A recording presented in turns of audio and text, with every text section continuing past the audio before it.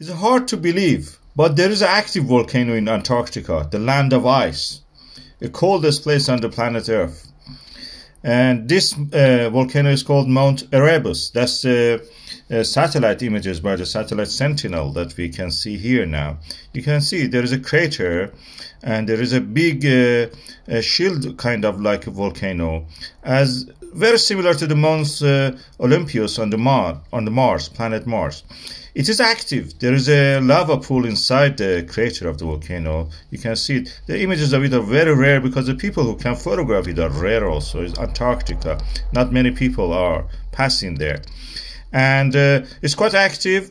Not many activities of it have been uh, recorded by people it's in a very similar setting to the uh, Icelandic volcanoes. It's on the same, uh, you know, uh, kind of uh, mid-oceanic ridges that comes from the Atlantic to the Pacific or from Pacific to the Atlantic, whichever you look.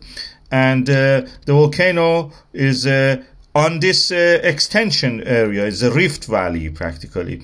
On this rift we have this thinning of the crust of the earth where the volcano is actually is created.